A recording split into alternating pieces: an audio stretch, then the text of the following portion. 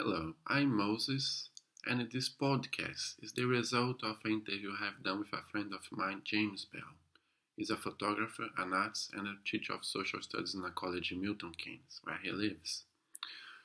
We talk about representation, art, and culture, and the way that the conversation develops was um, perfect for this kind of media on a format of a podcast. That's something that you can access wherever you are and uh, listen whenever you've got the time to do it. Hopefully, this will become a series of podcasts where I interview different people and I talk about arts, representation, and culture. I hope you listen and enjoy, please. Thank you.